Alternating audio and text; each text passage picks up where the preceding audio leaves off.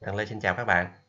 Trong video này, thằng Lê hướng dẫn các bạn khắc phục một cái lỗi két rất là phổ biến mà hiện nay có rất rất nhiều bạn gặp phải lỗi này chưa khắc phục được và nguyên nhân nó tại vì đâu và cách khắc phục nó như thế nào. Cụ thể cái lỗi này đó là các bạn không thể nào load được cái clip két, không thể nào mà tải được cái clip két để có được cái lệnh mới để các bạn sử dụng. Thì cái nguyên nhân nó do đâu và cái lỗi nó như thế nào và mình khắc phục nó ra làm sao thì mình sẽ hướng dẫn cho các bạn chi tiết ngay sau đây. Giả sử mình có một nhóm đoạn thẳng mình có một nhóm đoạn thẳng như thế này.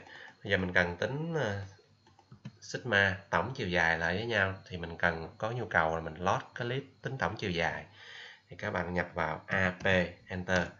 Rồi bạn tìm đến cái folder chứa cái clip cần load cụ thể là mình chứa nó trong cái ổ đề rồi nằm trong cái mục dữ liệu nằm trong một dữ liệu clip két rồi mình chọn cái clip tính tổng chiều dài, list load. Rồi thì nó đã báo là tính tổng chiều dài đã thành công. Đó, list vào flow nè. Thì cái lệnh ờ, tắt của cái clip này chính là tl enter bạn gõ tl enter coi nó có hiểu hay không. Thì nó báo no comment nè, đó, bạn thấy chưa? Nó không báo, nó không biết cái lệnh này. Tức là bạn load chưa được, bạn load không được cái load, cái clip này. Thì nguyên nhân tại vì sao? Các bạn chú ý nè. Trong cái nguyên nhân là do những cái clip đó những cái clip này nè các bạn à, lưu trữ trong một cái folder đặt tên bạn đặt bằng tiếng Việt mà có dấu. À, mấu chốt vào chỗ này. Bạn chỉ cần sửa cái folder này lại bằng tiếng Việt không dấu hoặc là bạn gọi tiếng Anh là được ngay là bạn load sẽ được ngay. Thì mình đã có mình tạo một cái à, folder mới à, đặt tên là theo kiểu tiếng Anh mà không có dấu. Mà gọi tiếng Việt thì phải không có dấu mới được nha. À, cái lỗi là do nó có dấu chứ dữ liệu đó bạn thấy chưa? À, thì nó báo lỗi bằng clip bạn không được. Rồi giờ mình load trong đây.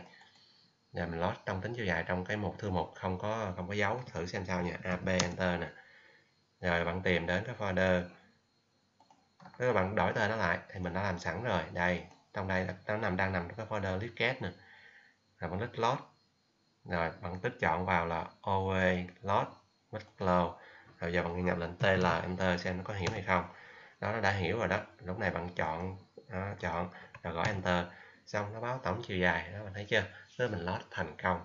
Vậy thì cái lỗi này à, cái nguyên nhân khá là đơn giản đúng không? Tức là do các bạn tải những cái clip trên mạng về các bạn để vào trong cái folder có dấu thôi. Bạn tạo một cái folder mới hoàn toàn không đặt dấu hoặc là đặt bằng tiếng Anh là cho nó vào. Sau đó bằng AB bình thường rồi bạn nhập lệnh bình thường nha. Vừa rồi Thằng Lê vừa hướng dẫn cho các bạn khắc phục một cái lỗi két có thể nói là rất là phổ biến hiện nay rất là nhiều bạn gặp phải nhưng mà chưa tìm được cách khắc phục.